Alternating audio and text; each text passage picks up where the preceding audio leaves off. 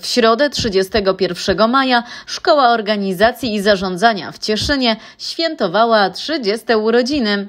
Z tej okazji nie zabrakło uroczystej akademii, podsumowań i podziękowań. Ja myślę, że, że mieliśmy bardzo dużo szczęścia, bo podejmowałam wspólnie z kolegą decyzję o utworzeniu szkoły niepublicznej, społecznej, szkoły ponadpodstawowej. Nie mieliśmy praktycznie nic, nie mieliśmy zaplecza y, materialnego, nie mieliśmy żadnych finansów, nie mieliśmy budynku.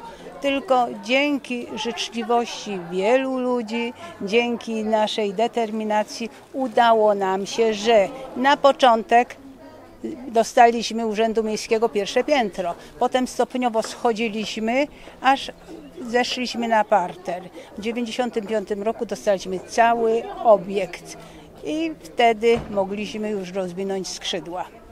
Tak, udało się te skrzydła rozwinąć. Ja widzę, że pan zadowolony. Jestem już 14 lat na emeryturze. Wspieram szkołę, jestem przewodniczącym organu prowadzącego.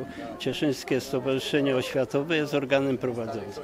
I bardzo się cieszę, że tak się wszystko udało że razem żeśmy współpracowali. Zresztą dalej się trzymamy, ale ja już tak troszkę z boku, więc... A co było takim najtrudniejszym momentem właśnie? Te początki, te, że nie mieliście tej, tej siedziby? To było najtrudniejsze, mówiąc szczerze, to egzaminy wstępne do klas pierwszych.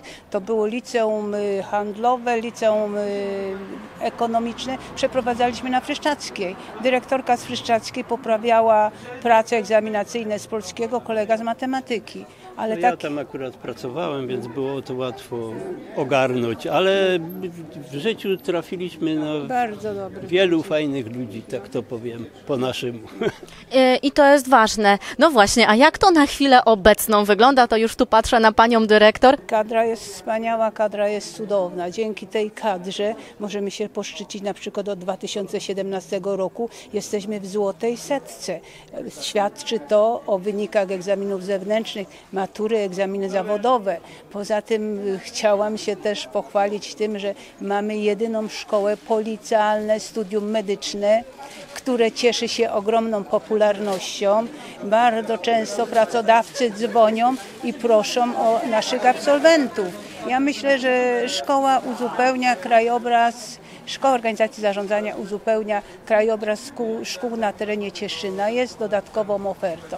No poza tym też chciałam zwrócić uwagę, że mm, pytała Panią nauczycieli. Nauczyciele naprawdę są bardzo pracowici, y, bardzo zaangażowani. Występujemy, piszemy projekty unijne. Proszę sobie wyobrazić, że w ciągu 13 lat taka mała szkoła uzyskała prawie 3 miliony złotych i na staże zagraniczne, na wymiany z młodzieżą.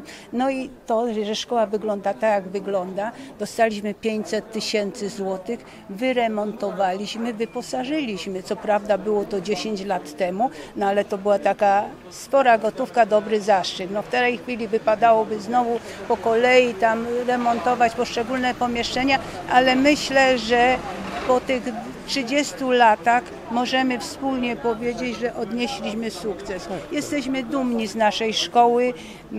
Myślę, że no nie powiem, że jestem spełniona, ale naprawdę nie sądziłam, że podejmując się takiej wspólnie, podejmując taką decyzję, że uda nam się doprowadzić nasz pomysł do końca i będzie funkcjonował 30 lat i mam wrażenie, że w dalszym ciągu szkoła będzie funkcjonowała i świetnie się rozwijała. Czego życzę szkole i również sobie. Publiczne studium mamy medyczne, publiczne i to był strzał w dziesiątkę pani dyrektor. I wie pani, to jest coś, co wyraźnie widać, że wreszcie tak zrobiliśmy coś konkretnego dla społeczeństwa bo było potrzebne. Była luka, kiedyś było liceum medyczne w Cieszynie, prawda? Teraz duża luka i my tą lukę wypełniliśmy i, i to cieszy, bo zawsze się staramy patrzeć, co można zrobić dla ludzi, bo najważniejsze jest to, co się zrobi w życiu dla ludzi. Ja jako starszy pan mogę to powiedzieć pani z całą taką odpowiedzialnością i na przykład jak ja byłem na przykład w Strumieniu, tam wspomagamy niepełnosprawnych chłopców. Jeździmy tam corocznie od nie wiem ile lat od 18 już. lat. No, może tak. mała szkoła o wielkim sercu. Tak, i wie pani co, tam dopiero człowiek odczuwa, że coś można zrobić dla ludzi, małym kosztem proszę mi wierzyć, jak jest uśmiech na twarzach uczniów, to jest wielka satysfakcja. Dla portalu Śląska Cieszyńskiego XPL Marta Szymik.